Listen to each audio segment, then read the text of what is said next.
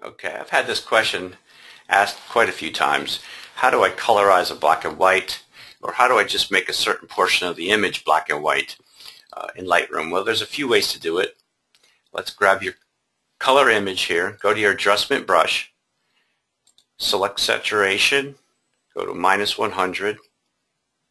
Your brush, uh, let's bring the density and the flow to 100% and just make your brush really large and let's go ahead and desaturate the entire image. So by having your flow and density at 100, uh, you're going to get total black and white with no color left behind. Next thing you want to do is hit the Alt key or the Option key on a Mac. And what it does is, if you notice over here, it's going to select the Erase tool. You could just click on the Erase tool and it becomes an Erase tool. Or you can just click on the Alt key and the erase tool gets activated. If your flow is at 100%, you will bring back all the color. So while I'm holding the Alt key, all my color is being brought back from that last action with that adjustment brush of desaturating the entire image. So I'm kind of erasing what I did um, and deciding what to bring back. Uh, that's one way to uh, colorize uh, black and white image. Now, you notice these edges um, are a little tougher to get at. So let's zoom in a little bit and work on this little section over here. Now, you've got the, the edges of the flowers. Now, it's, oh, oops, hit the Alt key to erase it, bring back the color. Uh, what you want to do is come over to your auto mask, click check on that. What that's going to do, it's going to allow you to paint within the lines. So as I start painting, you'll notice that it will stick. If I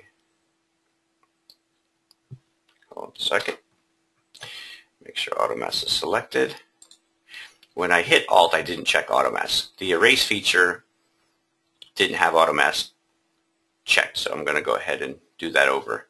You'll notice that the lines, the color, is only going to paint back where you started. So if I started in the background, it'll continue in that background color. If I started on my subject, it'll continue on that subject color. Be aware that when you check auto mask, you see it sometimes doesn't capture everything. Um, it's not very, uh, it's great for the edges, but not within an image. So let me uncheck it so I can get this portion uh, painted in nicely here. There we go. So use those tools Use the auto mask feature to stay within lines.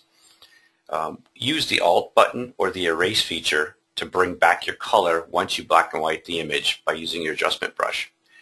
The other way, let's reset this image, is to use the same brush uh, that you use to black and white the entire image and just black and white portion of the image instead of the whole thing. So let's take this jacket and we'll black and white just the jacket.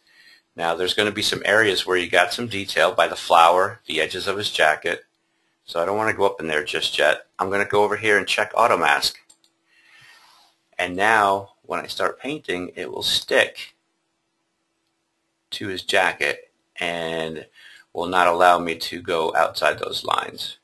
So the jacket will be nice and black and white and you'll notice that the flower won't be touched even though I'm being very sloppy and not careful. It's staying within the lines for me. And you can just control plus to zoom in, move your navigator around, uncheck auto mask, and just finish it up by hand the areas that uh, Lightroom did not get. And that's pretty easy right there. So we black and whited his jacket. Uh, another thing to remember is the flow. If I want to not black and white the entire flower. So let's, if I'm on 100%, it's going to make these flowers black and white, and it will remove all the color. But if I bring the flow down, let's say to 50%, watch what happens. It's only taking half of the color out. So depending on the effect that you want, use your flow to determine how much you're going to remove or bring back and it works both ways. It works on the erase side, and it works also on the uh, on the brush side.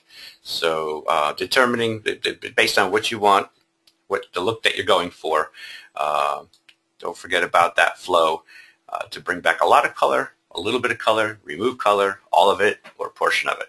Well, that's pretty much it for this tutorial. Hope you enjoyed it, and thanks for watching.